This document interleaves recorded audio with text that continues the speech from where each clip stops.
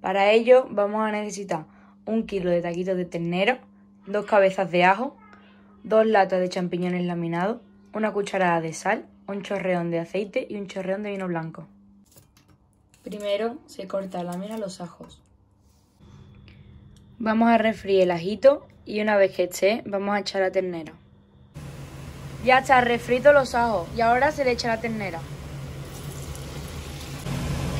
Le hemos echado una poquita de agua para ponerla tierna. Y ahora un poquito de vino.